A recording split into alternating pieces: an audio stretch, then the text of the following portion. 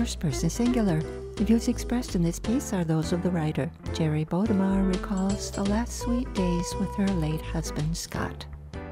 My hubby Scott named his care page Duck in a Row. Here's why. For years he has been joking about not even getting his one duck in a row. And he doesn't even have a duck. And it's not really true. But it always catches some laughter, which is the point. The curious thing is that we've recently actually gotten some ducks in a row, like redoing the driveway, taking out overgrown bushes, painting the house, and now even creating a trust. The other night, I suddenly remembered that we actually do have a ceramic duck displayed in the corner of our backyard. I'm going to bring it close to the house and surround it with baby ducks, symbolizing that he is not alone but held in a circle of quacking love.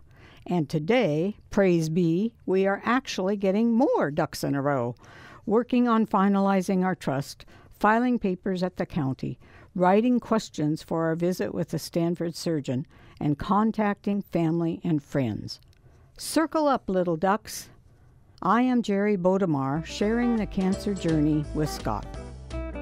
Jeri Bodemar is an artist living in Watsonville. If you have a story or an opinion you'd like to share, send 240 words to first person singular at ksqd.org. This piece was produced by Laurie Korn and Matilda Rand.